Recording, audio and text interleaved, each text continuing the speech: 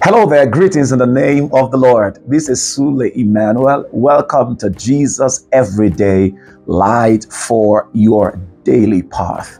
Our topic today is His grace is enough for you. This is part 8. And our Bible reference is taken from Second Corinthians chapter 12, verse 9. Dear friends, I want to remind you today that God's help is real.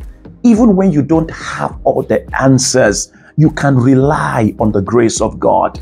Now, to experience God's miraculous power and grace in the face of all kinds of challenges and oppositions, we must constantly remind ourselves of certain truths about our God.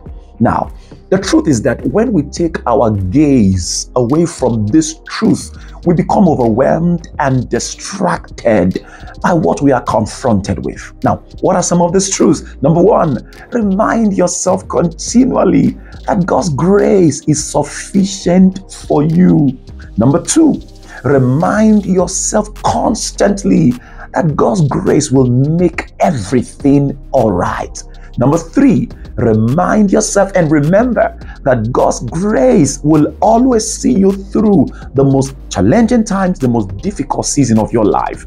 Number four, remember that God's grace will bring you out of the worst situations. Number five, remind yourself that God's grace will overcome your inabilities, your limitations, and provide you with what only God can provide. While everyone is focusing on your weakness, your inabilities, and talking about what you cannot do, please focus on the abilities of your God and it will flow into your life. Always remember and remind yourself that His grace is sufficient for you and it will bring you everything that you desire for yourself. Remember that His grace is always at work for you and that His strength is revealed even in your weakness and your trying times.